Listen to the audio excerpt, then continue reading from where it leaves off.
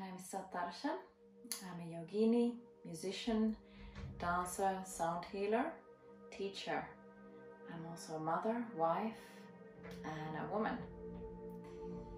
And my passion is to help people and coach people to transform and overcome their limitations, their inner blockages, so that they can create a life that they truly want. Uh, whether to do with uh, their career choices, their relationships, their sense of purpose, or even overcome certain uh, emotional tendencies and activate the mind's potential to even heal depression.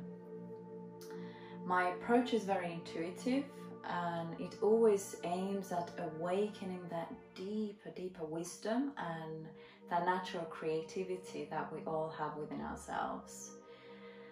And I'm very inspired to help you on your journey to awaken that and to unravel that so you can also uh, make choices and actions that are gonna create the life that you are happy with.